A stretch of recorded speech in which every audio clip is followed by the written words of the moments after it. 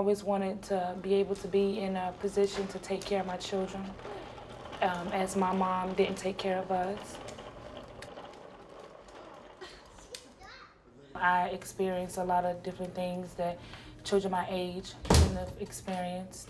Parents were both drug addicts.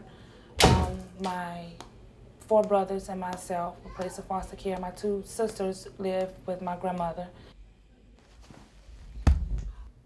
I was working at a girls group home as a um, direct care staff. The agency shut down. I was a live-in. That left me and my son without a place. You know, um, I'm really not attached to family, no family support, so I really couldn't rely on anyone to help me get on my feet. So I just moved from Statesville to Durham, IHN. Um, I actually looked them up in a phone book and just prayed to God that this was going to be something that you know, would work out for me. And coming to IHN has definitely worked wonders for me.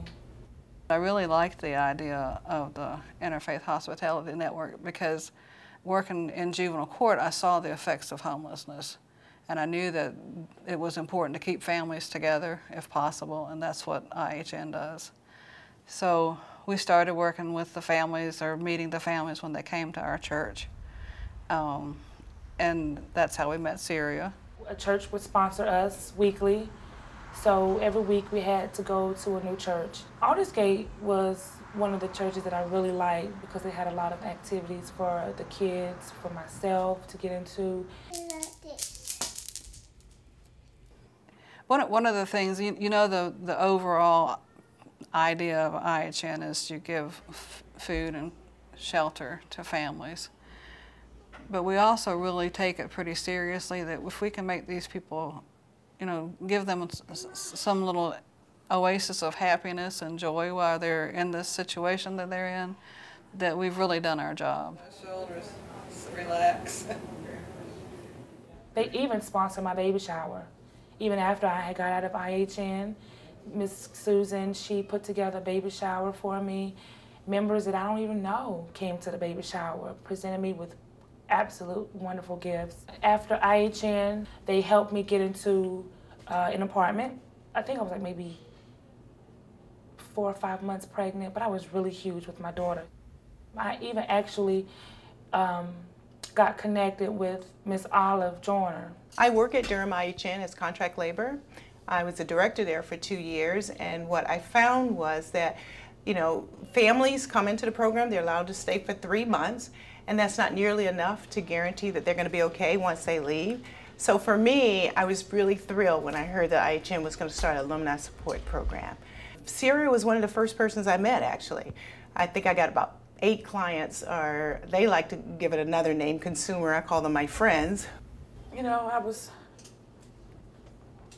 I was pregnant when I met her. I was frustrated, scared. You know, what am I going to do? Joy, really didn't have any. I was just so focused on the task at hand. She came, she, she was like a, a breath of fresh air. Personally, I don't do boundaries because changes don't happen in boundary settings. Uh, people who've not had family, what they want is family. What they want is security. What they want is community that they can trust, that they can be real. And they usually can tell the difference between are you doing your job, are you really vested in me? She's, she's definitely filled that void of, of, um, of a sister slash mom. Miss, Miss Olive will definitely be someone that I, I, I carry on throughout life. I carry with me throughout life.